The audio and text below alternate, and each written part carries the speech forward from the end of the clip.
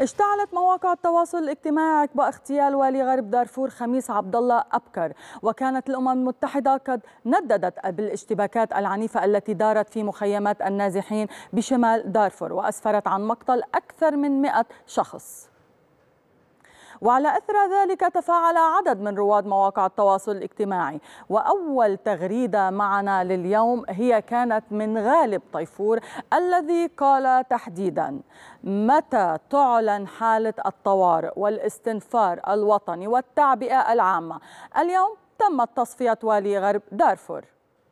أما حبيب عبد الرحيم فقد غرد قائلا حادث اغتيال والي غرب دارفور خميس أبكر لن يمر مرور الكرام. فقد شهدنا في اللحظات التي سبقت مقتله تدفقا كبيرا من الأخبار. أما علاء الدين فقد غرد قائلا.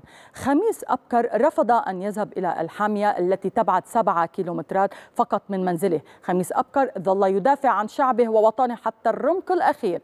سيظل خميس أبكر ورفاقه أبطالا لدى شعب داون, دوكا عفوا. تقبلهم الله مع الشهداء والصديقين. كما دون كما دون أمجاد وقال اختار خميس أبكر الدفاع عن حق مواطنيه في غرب دارفور في الحياة والأمن واختار أيضا أن يسمي الأشياء بمسمياتها واضحة. فناتشته آلة الموت الوحشية بجنونها وسفه اختيارها. رحمه الله وتقبله في جناته.